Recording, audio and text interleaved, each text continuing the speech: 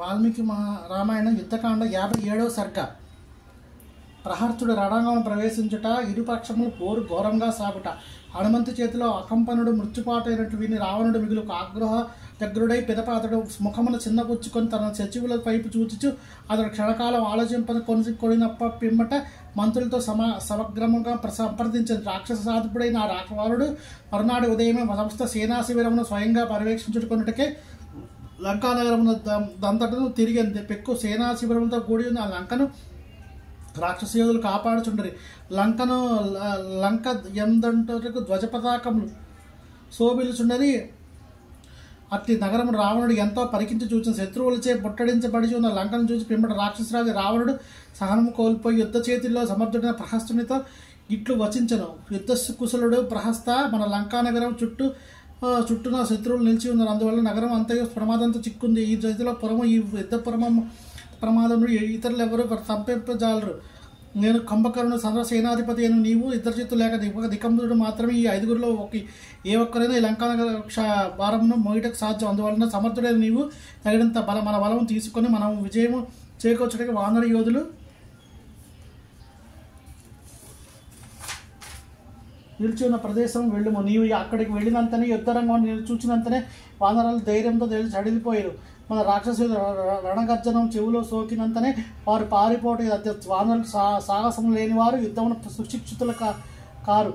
పైగా చపల స్వభావం సింహగర్జనం ఏనుగుల వలె ఈ నీ రణధ్వనికి వారు తట్టుకోలేరు. ప్రహస్త వానర బలములు పారిపోవటంతో రామలక్ష్మణులు నిస్సహాయులై మిగులు మిగులు అటు నివేది విధి లేక వారు నీకు లొంగిపోదురు. యుద్ధమునకు దిగినప్పుడు మృత్యు ప్రాప్తించిన సందేహాస్పదము. అనగా మృత్యు కల కలగవచ్చును కలగపోవచ్చును. యుద్ధమునకు వెళ్ళకుండా మరణించడం కంటే వెళ్ళి వీరమరణం పొందడే శ్రేయస్కరం.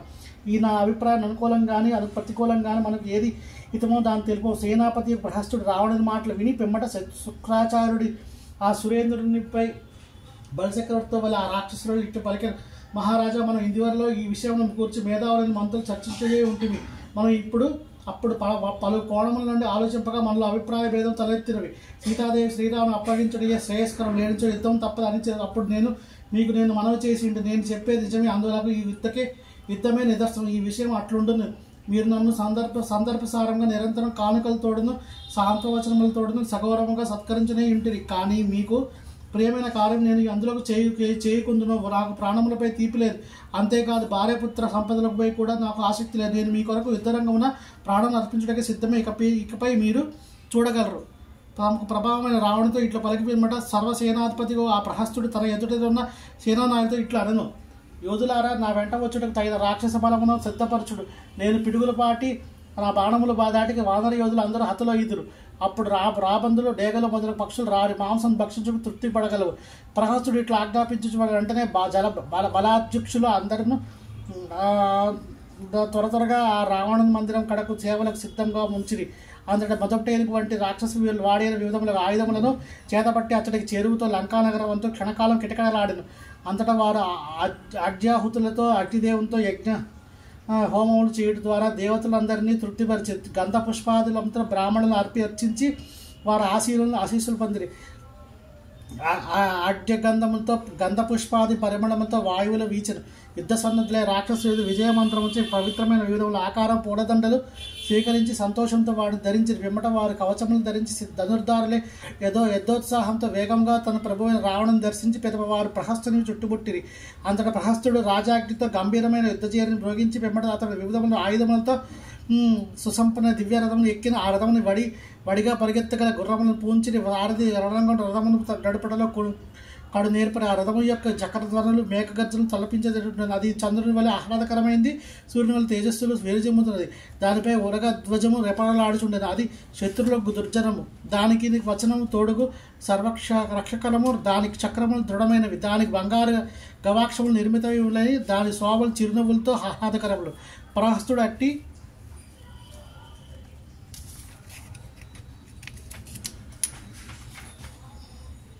రథమును అధిరోహించి రావణుని ఆజ్ఞానుసారము గొప్ప సైన్యంతో పరివృతుడై వెంటనే ఆ లంక నుండి బయలుదేరి ఆ సేన అనేది బయలుదేరగానే మేఘగర్జనలో సుబ్బోజన డంకానాదం వీణా వీణ మృదంగ తాళధ్వనులు శంకారావణం సముద్రములు అంటున్నది ప్రారంభమైనట్లుగా వినబడింది.